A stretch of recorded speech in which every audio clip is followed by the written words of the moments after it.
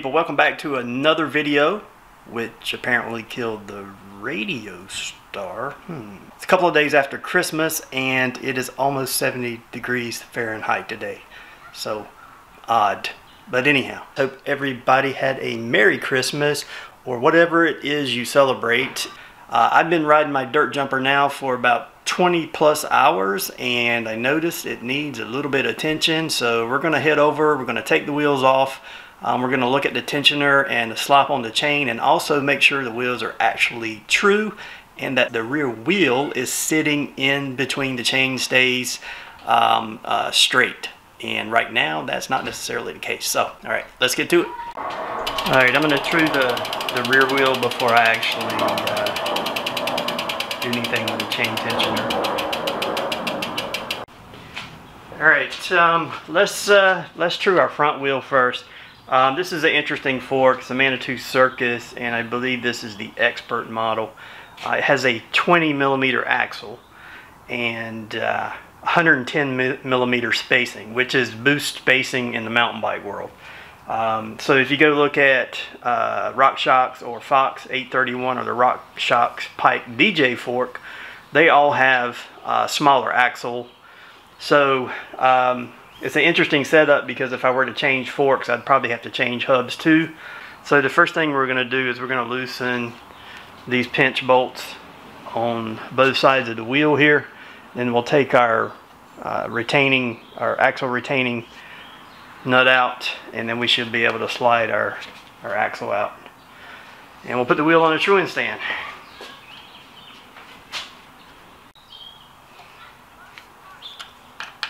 So these are just four millimeters or some, and we'll do this side as well. All right, so those are loose, and so now I'm going to take our retaining nut off, which is going to be number six. Just loosen that. Make sure you don't use lose the uh, the metal washer there and our axle should slip out of the bike like so. And so there's our uh, 20 millimeter axle. There's our hub. And usually why I take these off I usually try to take a picture of any writing that's on the hub just so um, we buy don't don't lose the end caps. Um, so this is a, a, formula hub. You can tell from the the insignia on it. See the F there. Um, doesn't have much other writing on it. So it's probably made for uh, bike manufacturers as OEM.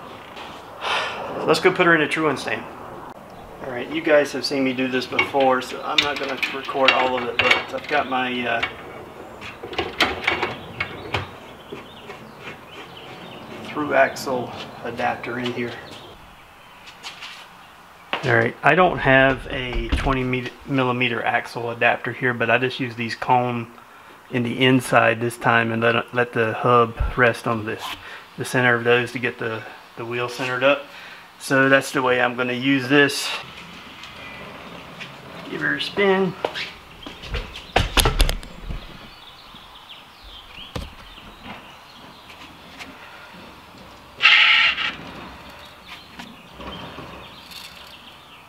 Actually not bad.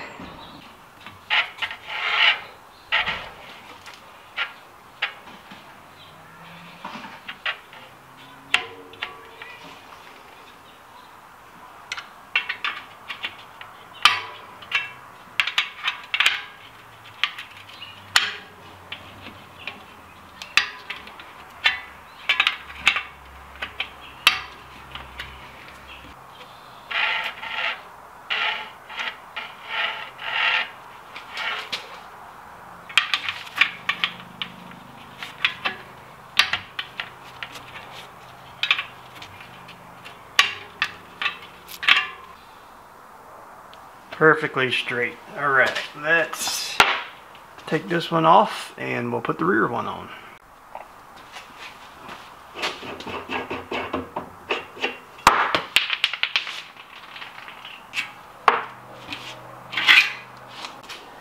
All right. So we got our 15 millimeter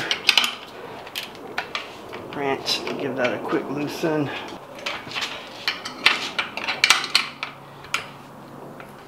Remove our nuts.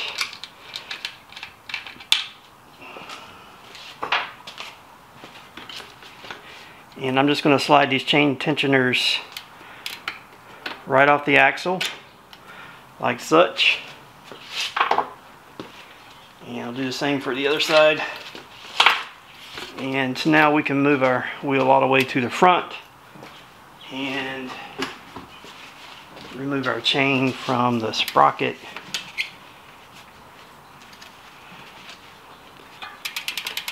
There we go.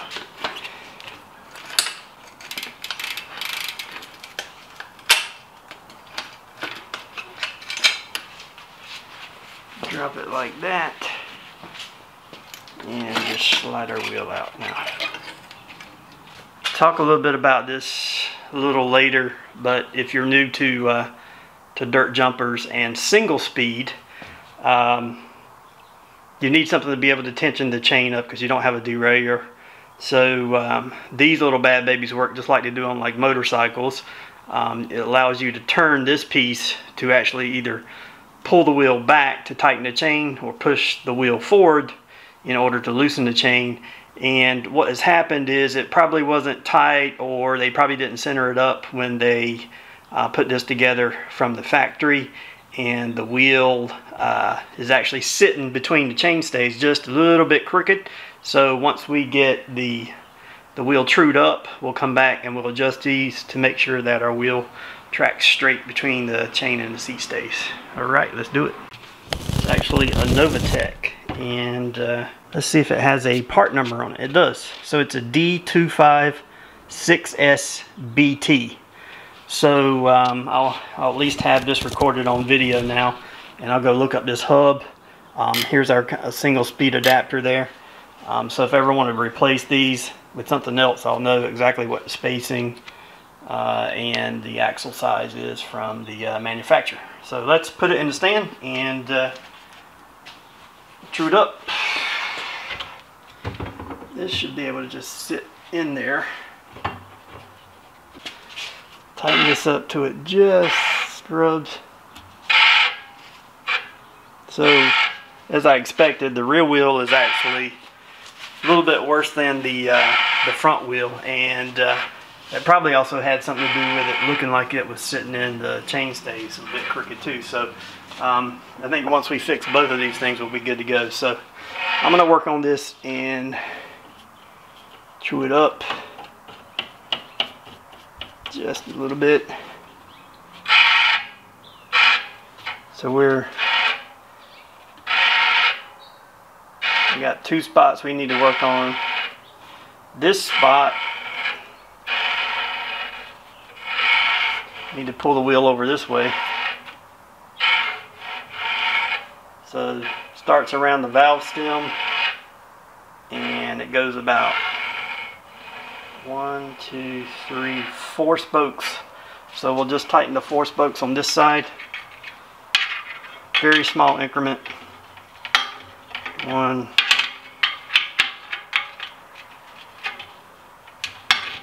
two, three,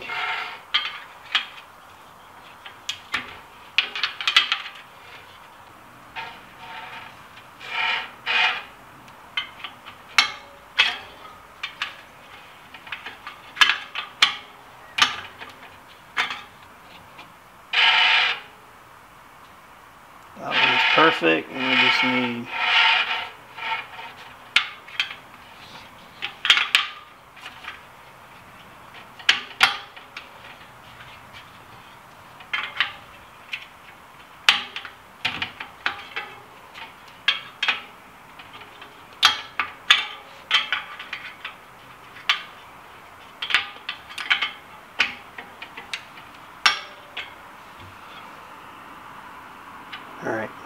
almost perfect. Right there by the valve stem.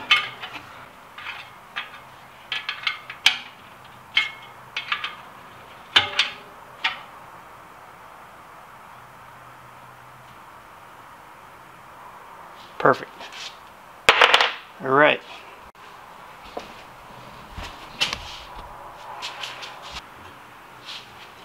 We'll center up our rear wheel. Now it's just the reverse process. Let's get our front wheel.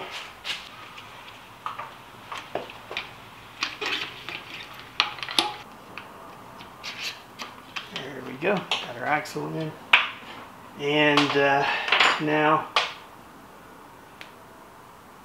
30 to 40 inch pounds of torque for to replace our uh, actually written right there on the end of the cap. Inch pounds. So we'll go somewhere in between how about that? 35 36 and let's tighten our pinch bolts down. Six newton meters. All right there's our front wheel go do our rear wheel. So if you're curious uh, about how the pinch bolts work on the uh, on the Manitous, you'll notice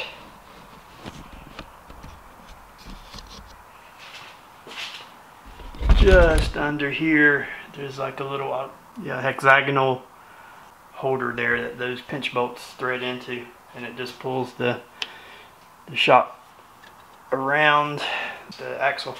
Let's put our rear wheel back on and uh, I'm going to properly tension our chain the wheel centered inside of the actual uh, bike. So I'm just going to throw the chain on sprocket here real quick. Slide this into the guides here and our tensioners back on.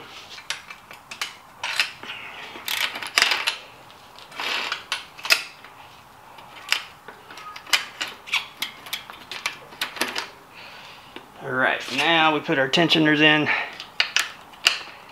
which will get us back to the place where we started before we took the wheel off. Do that on both sides.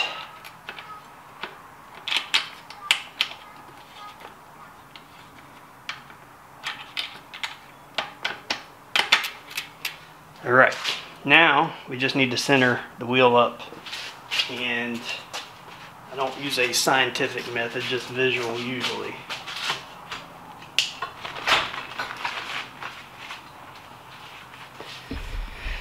So let's take a look.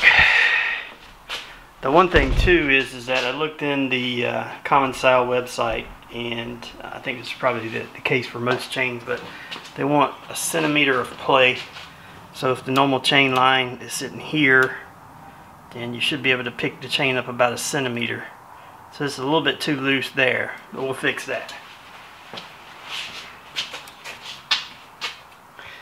And I'm going to do that by just spinning the tensioner and uh, try to keep these at an equal amount.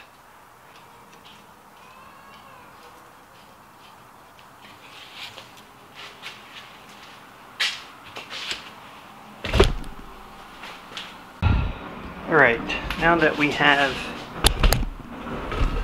about equidistance, so usually what I just do is I just uh, put my finger, I'll just stick my finger in between the chainstay and the tire.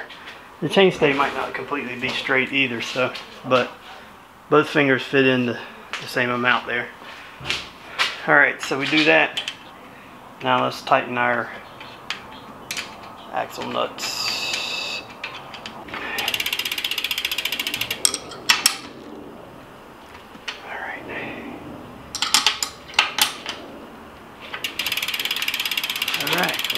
spin and we're still about equal distance. So let's take her down and see what she looks like.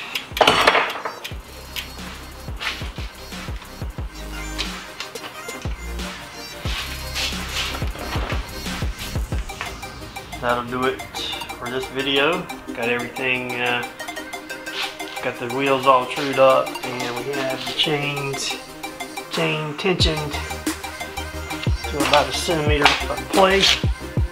I am running out of tensioner room, so I'm gonna either need to take a link out or get a half link the chain in the future.